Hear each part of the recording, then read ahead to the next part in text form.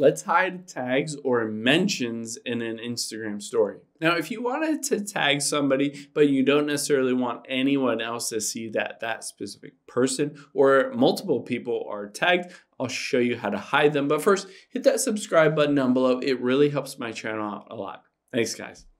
So let's hop into Instagram. I'm going to swipe to the right here and take a quick picture of my remote. Now I'm going to tag somebody just by tapping that little smiley face sticker at the top right and then hitting mention. And I am going to tag, say, Tom Brady in this. You can tag as many friends as you want. You can tag up to 20 different friends on this specific story.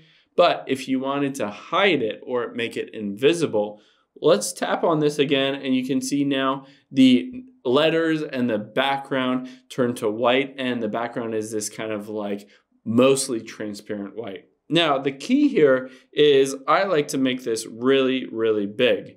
So I'm gonna make it really big, but once you do that, you can swipe it down to the right so that it's basically invisible maybe there's just a very, you know, barely a sliver of that white background at the very bottom. Nobody is going to notice that or see it. So essentially, Tom Brady is now hidden in this specific tagged story. I can go, you know, through adding other tags if I want to add multiple people on here that I mentioned, but hide them. And then just hit share, and nobody will be able to tell that you've tagged those specific people.